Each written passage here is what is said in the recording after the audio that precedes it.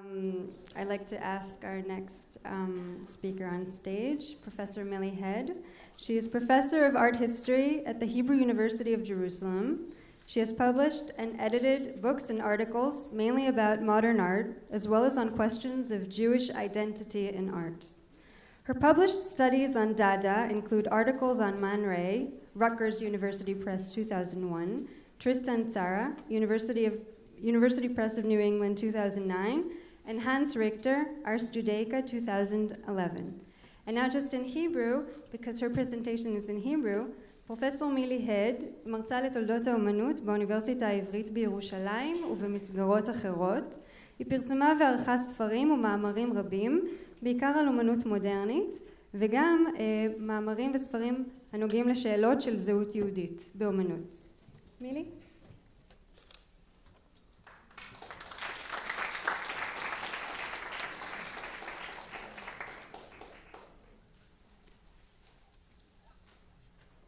Neta. It's really a great pleasure for me to be here since my first public talk was in this place before it was redone. And obviously, to see Neta thriving as the, I remember her as an excellent student, and I also um, um, thank Adina for inviting me. Um, you wanted me to speak in Hebrew, didn't you? Okay. Although, fair enough, but uh, it will be difficult because I have to switch from the written work, which is in English, to Hebrew. יהיה בסדר. אוקיי. עברית זו שפה טובה. אוקיי.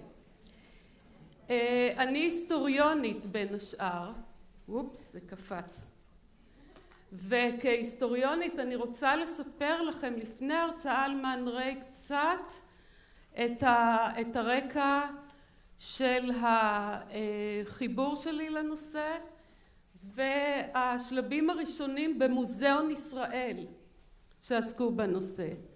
מתישהו בשנות התשעים ארתורו שוורץ תרם את האוסף הנפלא שלו למוזיאון ישראל ושם את הדדה על המפה הבינלאומית, הדדה במוזיאון ישראל. לכבוד אותו, אותה תרומה,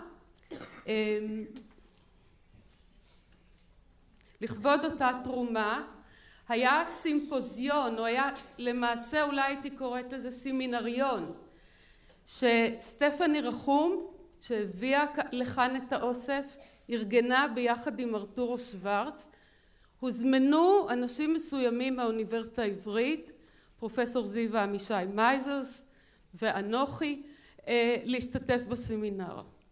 אני חושבת שיחד עם כמובן אנשים שעבדו קורטורים במוזיאון ישראל. הסמינר הזה ריגש אותי בצורה בלתי רגילה, התחברתי לעבודות מיד ומכאן התחילה סאגה או איזושהי התפתחות גם בעבודה שלי. המאמר הראשון שפרסמתי היה ב-Israel Museum Journal ב-1993 והוא נקרא Man Ray Manuel Radnitsky Who is behind the enigma of Isidore Dukas זה תכף יובהר יחד עם התמונה. לקחו כמה שנים ב-1999 המאמר בהרחבה פורסם בספר ב Rutgers University Press. מאז אני עוסקת בדאדה גם והצדדים היהודים שלו גם אצל טריסטן צרה גם אצל האנס ריכטר ואחרים שעליהם פרסמתי. עכשיו מקווה שזה עובד. אוקיי מה שאתם רואים לפניכם זה הביוגרפיה של מן ריי. הביוגרפיה של מן ריי אולי יותר מדויק לומר האוטוביוגרפיה כי זה סלף פורטרט כך הוא קורא לזה שם את עצמו על הכוונת של המצלמה כמו שאתם רואים. עכשיו כשקראתי את הביוגרפיה האוטוביוגרפיה בעקבות הסמינר ראיתי שמן ריי לא מספר שום דבר על היהדות שלו. לא מזכיר הוא צמח וקפץ מהראש של אתנה, אין לו בכלל רקע, אין היסטוריה, ואני הרי היסטוריונית, נכון? אחר כך קראתי את הביוגרפיה שפרסם ניל בולדווין והיא השלימה לי חלקים חסרים, חלקים חשובים מאוד. למשל, שהמשפחה היגרה מקייב ב-1890 לרוסיה ושבעצם העיסוק המשפחתי היה המתפרות, the sweatshop experience, כן? איך נתרגם את זה לעברית? בתי היזע, כן? שבהם עבדו תופרים מהבוקר עד הערב בשכר זעום ומבחינה היסטורית הנושא נחקר והוא נושא מאוד מרתק ואז בואו נראה איך הדברים התפתחו הלאה. כן, זה הספר ש... שהוזכר קודם שבתוכו המאמר מן ריי מנואל רדיצקי מי מאחורי האניגמה של איזידור דוקסקי אתם רואים שעל התמונה, כן, על התמונה יש צילום של אותה יצירה מאוסף מוזיאון ישראל. הם לא הסכימו להשאיר את זה בצבעים של אוסף מוזיאון ישראל, אבל זו אותה גרסה שפעם ראשונה פורסמה על ידי כך על כריכה של ספר. הנושא של תפירה, מתפרות, יהודים והסוואטשופ וכל זה הוא נושא שרווח באמנות האמריקאית בין אם באמנות הגרפית אתם רואים את גרופר עם הסוואטשופ שלו יש פה שלבים שונים בעבודה. אבל זה היה קיים גם קודם בשירי הגטו של מוריס רוזנפלד ועם האילוסטרציה של אפרים משה ליליאן. כולנו בארץ מכירים אותו כאחד מאבות הציונות באומנות ומה שאתם רואים פה זה איזשהו מישהו ערפד שבולע את הדם של היהודי שעובד במתפרה אוקיי? אז כך שזה נושא שחוזר בהקשרים שונים בקשר להיסטוריה יהודית עכשיו ראינו כאן בהרצאה של עדינה גלגולים שונים של היצירה הזאת וכמובן היצירה שאנחנו הכרנו בעבר לפני ארתורו היה הצילום, כן, הצילום שנמצא כאן. ואם אתם מסתכלים על הצילום הזה אז הוא נראה מאוד מאוד מסתורי, מאיים, לא ברור. באנגלית יש מילה טובה לזה sinister, כן, sinistra, sinister, כן, הצד השמאל של הצד האפל, אוקיי, עכשיו היצירה הזאת נקראת האניגמה והיא בעצם מתארת את הגדרת היפה, מהו היפה? היפה הוא כמו המפגש המקרי בין מכונת תפירה ומטריה על שולחן הניתוחים זה בעצם חלק מהכותרת של היצירה הזאת. במשך שנים כשלימדתי באוניברסיטה כשלימדתי את היצירה הזאת עם המשפט הזה אני הייתי בטוחה שמדובר כאן באקט מיני סאדו מזוכיסטי כן? ועם הדהודים לווגינה דנטטה שעליה הסוריאליסטים כותבים בהרבה מאוד מקומות באמת המכונת תפירה עם המטריה מה היא עושה השיניים האלה למטריה המסכנה. עכשיו כשעשיתי את הקישור בין הסיפור של מן ריי שלא מספר שום דבר על עברו ותמיד אמרתי לסטודנטים שלי תקשיבו למה שלא נאמר לא רק למה שנאמר מכיוון שמן ריי לא אומר שום דבר על הרקע היהודי שלו ונכנסתי לסיפור של הסוואטשופס אמרתי לעצמי ואחרי כן כתבתי את זה שזה לא מקרי שמתוך הספר של לוט רמוס שיש בו מאות דימויים סוריאליסטיים מטורפים לחלוטין מדהימים לחלוטין מרתקים לחלוטין פונים לדמיון בצורה פנטסטית, הוא דווקא בוחר את המשפט הזה. כלומר, נתפסתי לעניין של מכונת התפירה, ומה מכונת תפירה יכולה, למה היא יכולה לגרום. אוקיי. אה, כמובן, שינוי השם של מן ריי, מעמנואל רדניצקי למאן ריי, הוא כאן מאוד מאוד רלוונטי, וגם המעבר מניו יורק לפריז. מעבר מניו יורק לפריז, אה, דושן עשה את המסלול ההפוך, כן? מפריז לאמריקה, כל אחד הולך למקום אחר כדי לחדש, מפחד מהסביבה, או מפחד מזה שיזהו אותו עם המקום שממנו הוא יצא, או עם המקום שממנו הוא רוצה לברוח. אז הוא עובר ב-1920, אה, הוא עובר אה, לפריז. אפרופו דושן, במשך שנים רבות דושן נחשב לאומן החשוב. מן ריי היה אומן שולי בתוך הסיפור הדדאיסטי. כשנתתי הרצאה כזאת באנגלית בווסט דין שזה מרכז לדאדה ולסוריאליזם הצביע אחד המשתתפים ואמר תודה רבה שאת משנה לנו את היחס למן ריי כי אני חשבתי שתמיד אה, מי, האומן החשוב הוא אה, דושן. עכשיו הלכתי אחורה אבל אני אלך קדימה כן עבודה מוקדמת של מן ריי Tapestry נעשתה מחתיכות בד בבית של ההורים שלו שהיו עסוקים בתפירה. עכשיו לדעתי הקישור שלו לעולם הזה של התפירה היה בו גם דבר חיובי.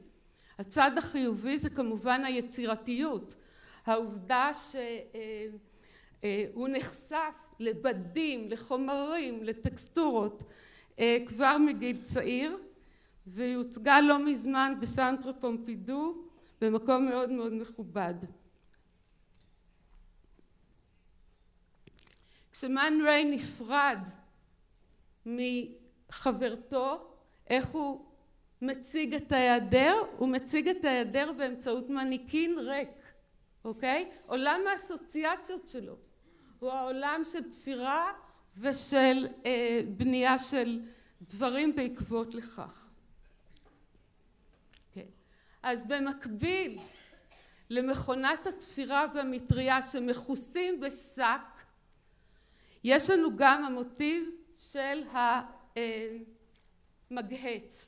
מגהץ עם מסמרים או ריאוגרמה של מגהץ הם כולם כן אתם רואים 1921 ומעבר למתנה שהוא נתן אני חושבת שזאת מתנה מאוד מאוד סדיסטית וזאת גם מתנה שאומרת אני רוצה לקרוע את הבדים, אני רוצה לקרוע את, את העבר שלי כי כל המסמרים כאן לא בדיוק יגהצו את הבד.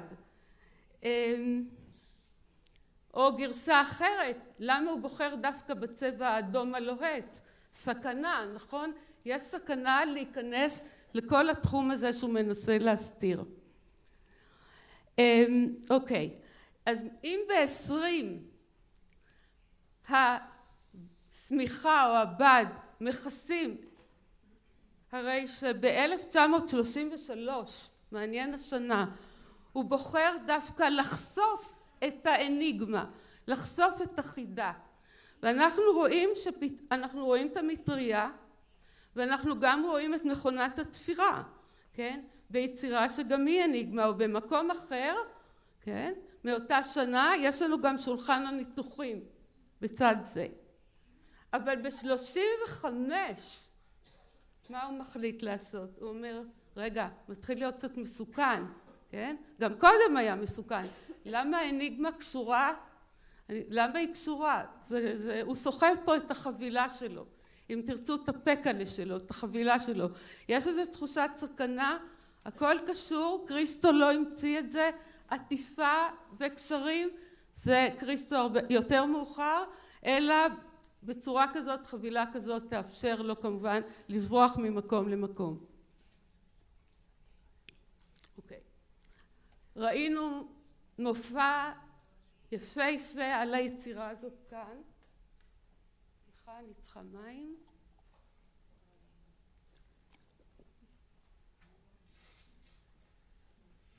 זה לא abstraction, זה obstruction, כן?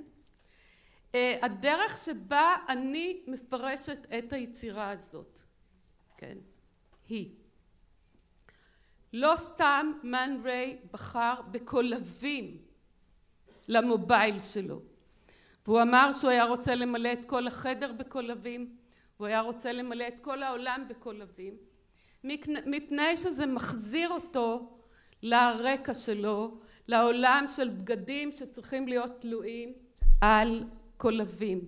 עכשיו כשמסתכלים טוב במיוחד בצורה הזאת אחד אל השני אנחנו בעצם רואים כאן עץ, עץ יוחסין שקטע אחד נתקע בקטע השני כך שאני לא מקבלת את הפרשנות שזה משהו סתמי אלא מאחורי הדברים אם אנחנו רואים כאן את הרצף של ההתפתחות והקשרים אנחנו רואים שיש קשר בין המובייל מהקולבים ההיסטוריה של מרן והיצירה שלו אוקיי. תסתכלו על התמונה הראשונה כאן. אתם רואים את כל המשפחה. 1895 תראו את התמונה שליד. מן ריי עשה לה cropping כן הוא חתך אותה. ואם תסתכלו טוב אתם רואים כאן את האימא. תראו איזה פיגורה ואיזה מותן. זה הילד וכשהוא חתך אותה הוא בכל זאת השאיר כף יד. אתם רואים כאן את כף היד. אותו מן כן מן ריי מן יד על זה כתבתי במאמר. עכשיו אני הרגשתי שמן ריי מושיט לי יד ואומר לי תראי אני עושה כאן משחק של גילוי והסתרה. בואי תלכי בעקבותיי ונראה מה תגלי. אני או כל היסטוריון של אומנות או כל היסטוריון או כל צופה אחר וגיליתי רישום מרתק שלו מ-1937 שנקרא Needle and Thread ואם אתם מסתכלים טוב אתם רואים כאן את הסילואטה של האימא. ואתם רואים שבתוכה יש מחט מאוד גדולה כן? אז הוא חודר לתוכה או שזה אמצעי להשתחרר ממנה מה שבאנגלית היינו קוראים אקסוסיזם כן?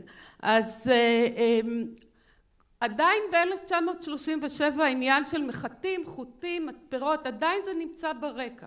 למעשה זה מלווה אותו בכל יצירתו. כן הנה רק השניים ביחד ואפילו העבודה הזאת שרק מראה את ההומור הנפלא שלו close-up fold-up מ-33 בעצם אתם רואים כאן מחטים שיוצרים כמובן דיוקן זה ההומור המיוחד שלו כן לשחק כאן עם פרצוף ודיוקן. אבל הטענה שלי שהדיוקן של האימא מתגלגל גם לצילום הנפלא ביותר של קוקו שנל אולי הצילום המרתק ביותר בתולדות ההוט קוטור מפני שמן ריי שבילדותו העביר בגדים ממקום למקום כחלק מהדרך שבה הוא גדל במתפרות גם לא היה תפקיד הפך להיות גם צלם של האופנה הגבוהה. ואתם רואים את קוקו שנל כאן בשמלה השחורה בסילואטה שמזכירה את האימא וכמובן אצלה נוספת הסיגריה בפה האישה המשוחררת האישה החדשה עם הסיגריה בפה יצירה קולנועית כן? שנקראת Leave me alone עמק בקיה מ-1926 מראה ריקוד של בדים נקרעים חולצות נקרעות יש שם סדרה שלמה של בדים סיכות שהעולם מתפרק ואחרי כן חוזר להיות עוד פעם וחוזר חלילה הצילום הזה כן הריאוגרמה הזאת כמו איזה חוטים שמחברים אותו לחוט הטבור שמענו כאן בהרצאה של דוקטור גרוסמן על המשיכה של הדדאיסטים ושל מן ריי לתחפושות, למסכות, ראינו את המסכות האפריקאיות. הטענה שלי שמתחת לכל הסיפור הזה, המשיכה לכל הדברים האלה נובעת בין השאר ולא רק, גם מתוך העובדה שמאן ריי ידע שהוא בעצמו מתחפש. יש לו זהות כפולה, זהות חצויה, יש משהו שהוא מסתיר. אתם יכולים לראות כאן אותו בשלושה הקשרים. אחת מזכירה לי את השכן שלי, זה עם הזקן והמשקפיים, כן, הוא נראה באמת כמו כל אדם, אה, סימפטי מאוד, כן, אינטלקטואלי מאוד, אולי גם יהודי עם הזקן. הש, השני הוא משהו אוריינטלי, איזה פקיר, כן, על הראש, ומשהו באמת רצה להיות. זה הוא רצה להיות האיש עם הברה הצרפתי, כן, האיש עם הברה הצרפתי מופיע כאן לפנינו. אתם תגידו לי, אז מה, גם אחרים יתחפשו, למשל, מרסל דושן, כן, אתם יכולים לומר לי את זה. מה בכל זאת ההבדל בין מרסל דושן בפרסונה שלו כרוז סלווי, הפרסונה הנשית שלו, למסכה של האניגמה של מן ריי. אם היה שיעור הייתם עונים, אבל מה לעשות, יש מגבלות זמן. כמובן שמרסל דושן אומר לנו זאת האמת הפנימית שלי ומצהיר על כך, אבל הוא לא יכול להסתיר את הזהות המקורית שלו, כי זה מובן מאליו, ואנחנו רואים את זה. ואילו אצל מן ריי יש תהליך מאוד מאוד רציני של הסתרה, אני אפילו קוראת לזה תהליך של גילוי והסתרה, הוא משחק איתנו, כך ניסחתי את זה במאמר המוקדם, הוא משחק ב-hide and seek game, כן? איתנו, האם אנחנו נגלה או נחשוף. דקולאז', כן? ראיתי שכשמן ריי כותב דקולאז', הוא כותב את זה במקור בלי אקסונט, אז זה בסדר. כן. ב-1940 לא עזר למן ריי שהוא צרפתי, לא עזר לו שהוא מן ריי, והוא ברח חזרה לארצות הברית, כמו אמנים רבים שהיו צריכים לברוח לארצות הברית, אצלו היה עוד כמובן החרדה שמא יגלו שהוא גם יהודי, והוא יוצר את הדקולאז' הזה. אני לא אכנס לניתוח של כל הפרטים של הדקולאז' הזה, זה מצוי במאמר שכתבתי, אבל תשימו לב שבמרכז יש חולצות, יש עניבות, והוא מבקש לקרב אותם למשפחה של זברה, והרי אנחנו יודעים שהזברה היא החיה היחידה שלובשת פיג'מה, נכון? אז יש פה, אני רואה בדבר הזה גם איזשהו געגוע לתא משפחתי שאותו הוא נטש, כן, באמריקה, כן, כשראיינתי את המשפחה שלו בפרינסטון הם התלוננו על כך שהוא אפילו לא בא ללוויה של אמו, אבל ביצירה אתם יכולים לראות שדרך סמלים, כן, הוא מביע געגוע ותסתכלו כאן על המשפחה למטה.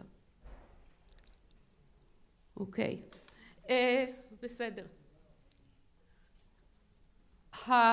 זהו האטליה שלו ואני מבקשת אם אני אצליח שתסתכלו על התמונה הזאת, תמונה הקטנה הזאת. דרך אגב ההיל הזה זה גם משהו שנולד מאיזה חתיכת בד חופשית שהוא ראה זורמת בבית, כלומר גם פה זה לא מקרי שהוא נמשך לצורה הזאת. תסתכלו על התמונה הקטנה שנמצאת כאן. כן, זה עוד האטליה. זאת התמונה הזאת שאתם רואים כאן שנקראת רו פרו או אם תרצו אני בטוחה שהוא חשב על רו פרוקט בראש, כן, רו פרוקט כי מה אנחנו רואים בתמונה? פרוקט קצת משוגע, כן, מתאים מאוד לדאדה, מתאים למאן ריי, אנחנו כאן, הוא חוזר ב-1952 לפריז ומה אנחנו רואים כאן?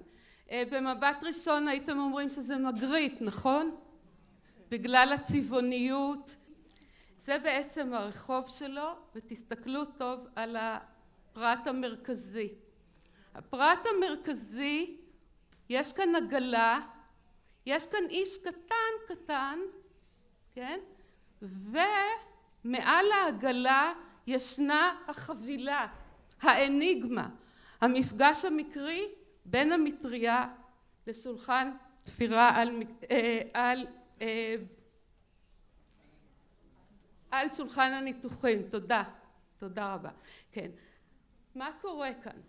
אם אנחנו מסתכלים על העבודה המוקדמת, יש בה פרגמנטציה, זה פירוק, יש בה מסתורין, אולי היינו יכולים אפילו למצוא כאן את מן ריי עצמו, אדם, דמות של אדם, אולי, כל אחד והגשטלט שלו, כן. היצירה איננה בהקשר, היא משאירה אותנו שואלים שאלות, כן? היא משאירה אותנו שואלים שאלות. עכשיו, נראה לי שבתמונה, בציור השמן, מן ריי נותן את התשובה. ומהי התשובה שהוא אומר? התשובה שהוא נותן לנו בעצם אומרת ככה: אני מן ריי, הוא האיש הקטן הזה, הוא היה איש קטן, קטן ממדים, ואני סוחב את העגלה הזאת ממקום למקום על גבי או בכרכרה עם האניגמה. אה, בספר אני קוראת לזה Man Ray comes to terms with his past. כלומר, התמונה הזאת היא תמונה של הודאה בקשר שיש לו ליהודי הנודד, כן, ה-wandering Jew, זוויף אראונד, או בגרמנית כמובן יש אייזיקה יהודה, כן, כלומר שהיה צריך לנדוד ממקום למקום ולסחוב את הפקלח שלו על הגב, זה מסביר גם את העובדה שחלק מהיצירות כמובן קשורות בחבלים, מהר מהר צריך לברוח ולצאת לדרך. לא, יש פה, אה, ההודעה הזאת זה מעניין מאוד, חמישים ושתיים כמובן אחרי השואה, אז יש גם אסוציאציות כאלה בתמונה הזאת. זה נראה לי מסמך מאוד מאוד חשוב מפני שבביוגרפיה שלו הוא לא כותב דבר וחצי דבר על השואה או על המלחמה מנקודת ראות יהודית ולכן הציור הזה יש כמובן ערך רב לדעתי בניגוד להומור ולשנינה שמוצאים במגהצים או בקולבים הרי נכנסים חלק מהעבודות בתערוכה הנפלאה הזאת שישנה כאן אנחנו צוחקים נכון? אנחנו מחייכים. אבל פה אין את זה אלא יש פה קבלה רצינית של ההיסטוריה של עצמו. ואם יש לי עוד דקה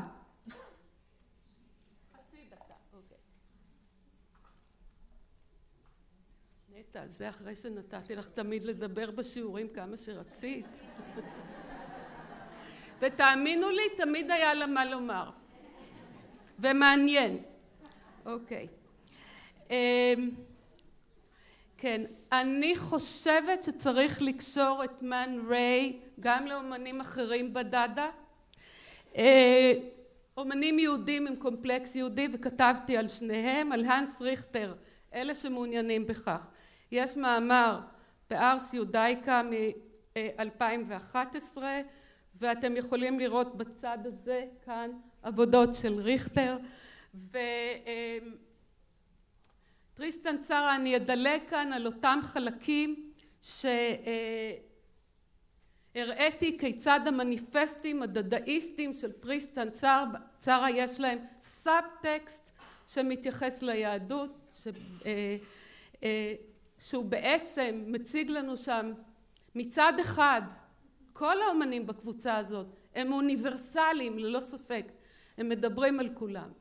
מצד שני ואולי זה חלק מהצד הראשון יש להם קומפלקס אבל כמעט בכל האומנות יש לאומנים קומפלקסים. אני יודעת שיש כאן סטודנטים מבצלאל ומעניין מעניין מעניין היה אם תתייחסו לעבודה שלכם ותשאלו את עצמכם באיזה מידה אתם מבטאים רק את הדברים הגלויים או באיזה מידה יש גם דברים סמויים שבאים לידי, ביציר, באים לידי ביטוי ביצירה שלכם וזה לא משנה איזה קומפלקס או איזה בעייתיות או זה לא חייב להיות קומפלקס זה יכול להיות משהו מורכב כי בסופו של דבר האומנות היא מורכבת. ולכן להציג את האומנים האלה כפופ ארטים כשטוחים בלי מימד עומק נראה לי בעייתי. אז בספר הזה כן יש מאמר שלי מ-2010 טריסטן צרה שמואל רוזנשטוק The Hidden Overt Jewish Agenda אני כבר כבר גומרת ו... אוקיי אני אוותר אבל דווקא רציתי לסיים במשהו אסתטי אז נחזור למגהץ. תודה רבה